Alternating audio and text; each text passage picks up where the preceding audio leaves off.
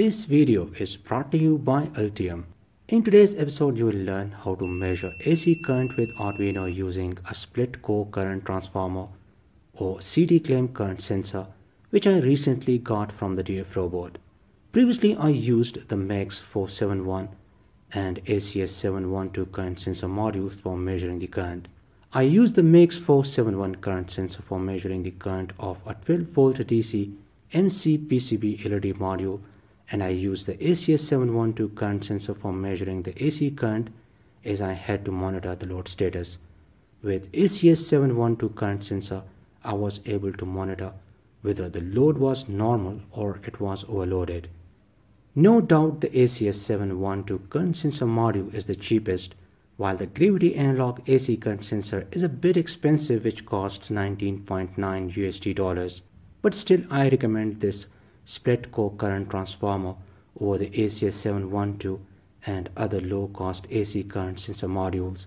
Because if you go with the ACS 712 current sensor module, then you will have to cut the wire so that you can connect the ACS 712 current sensor in series with a load which is quite a time consuming job and also there are high chances of getting an electric shock.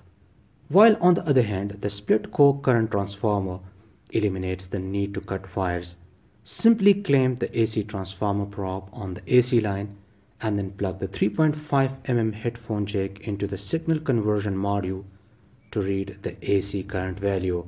The analog output is designed to be compatible with 3.3 volt and 5 volt compatible controller boards.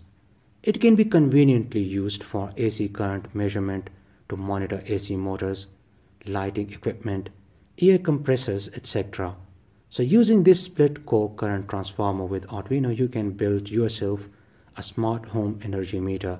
For demonstration purposes, I'm going to measure the current of these four lights. I'll be connecting one bulb at a time and then we will see how the load current varies. So before I'm going to explain the technical specifications, circuit diagram and programming, first let's watch the split core current transformer sensor in action. This video is sponsored by Altium. Altium Designer is the world's most trusted PCB design system. Altium Designer enables engineers to effortlessly connect with every facet of the electronics design process. Over 35 years of innovation and development focused on a truly unified design environment makes it the most widely used PCB design solution. With Altium Designer, you can create PCB designs with an intuitive and powerful interface that connects you to every aspect of the electronics design process. Route it your way through any angle, tune for the delay, push, slide, and walk around faster than ever. Interact and collaborate with mechanical designers like never before in a photorealistic 3D design environment. If you want to get started with the Altium Designer, then you can click on the first link in the description.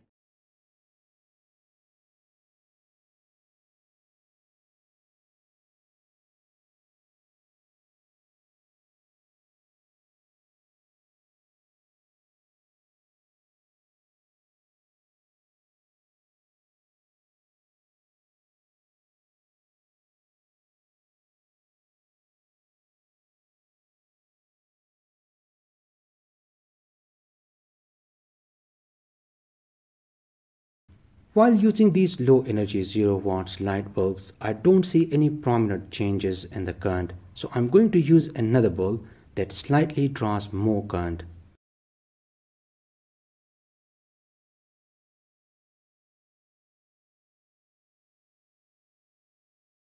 Now you can see the current is around 0.1 amps.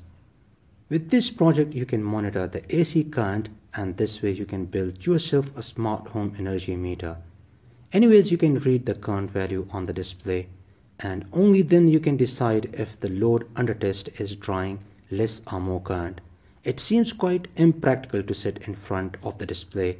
A better way is to program the Arduino in a way that each time the load exceeds a predefined value, it turns on the buzzer and then I can go ahead and switch off the unnecessary loads and this is what I'm going to do next. I modified the code and also added this 5 volt buzzer with the Arduino. Let's say this is my normal load which draws around 0.1 amps and I'm going to assume 0.2 amps as the maximum load. So if the load increases above 0.2 amps, I want the Arduino to turn on the buzzer. For demonstration purposes, I'll use this other bulb which draws more current. So if I replace any of these bulbs with this one, the buzzer should turn on.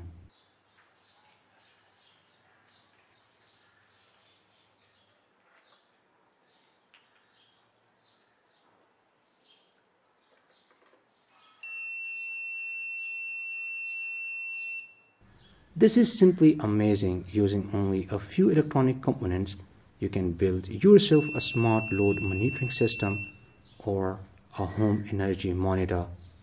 You can further modify this project. Instead of turning on the buzzer, you can use a relay to turn off the loads. You can also use a GSM module to send an alert message each time the load exceeds a predefined value. I will do it in one of my upcoming videos. Anyways, now you have got an idea of what exactly you are going to learn after watching this video. So without any further delay, let's get started.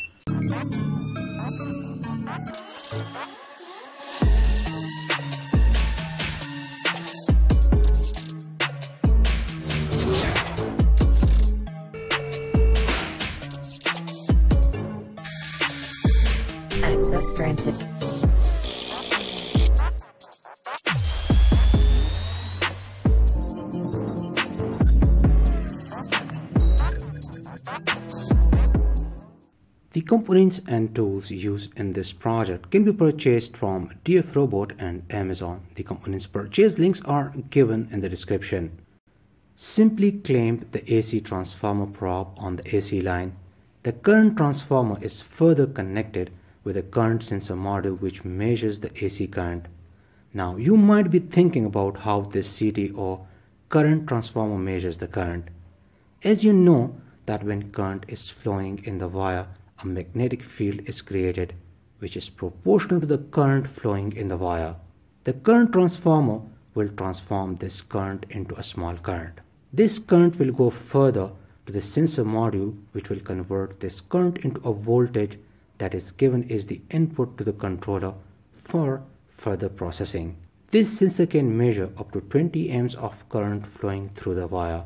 This sensor has high voltage isolation in the circuit design for safety reasons and a non-conductive acrylic plate has been attached to the bottom of the PCB to prevent accidents such as short circuits, electric shocks, and any other potential danger. It is simple to use and easy to connect to all Arduino compatible boards. It is ideal for any automation control application. It features non-contact measurement which offers high safety offers multiple ranges for various measurement scenarios and it's compatible with 3.3 volt and 5 volt microcontroller boards including Arduino boards, ESP32, ESP8266, STM32, etc. This is the AC current signal conversion module. The input voltage range is 3.3 volts to 5 volts. It comes with a 3 pins interface which makes it extremely easy to use. All the 3 pins are clearly labeled.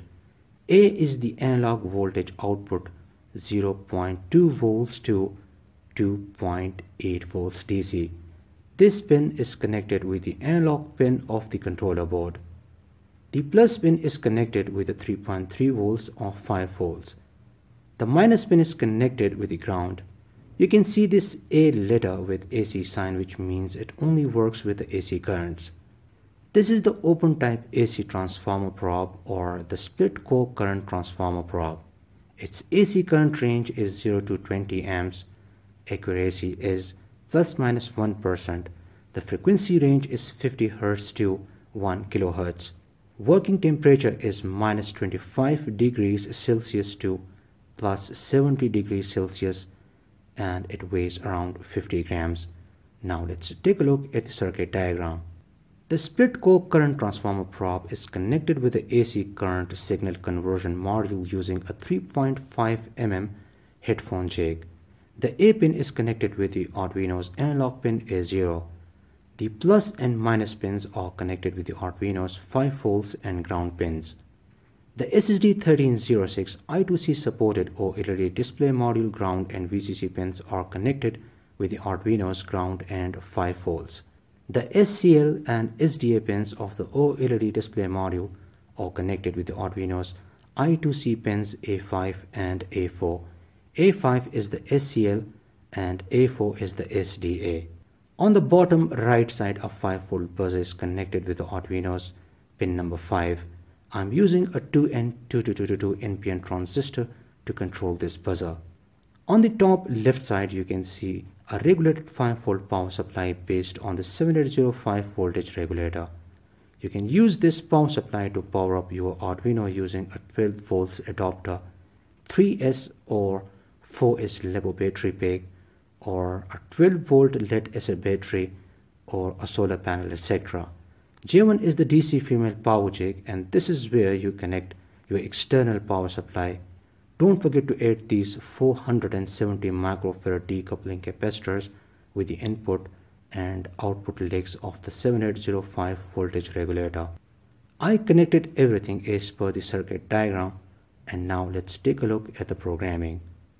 Before you start the programming, first of all make sure you download the Adafruit GFX and Adafruit SSD1306 libraries from our website electroniclinic.com I will provide a link in the description.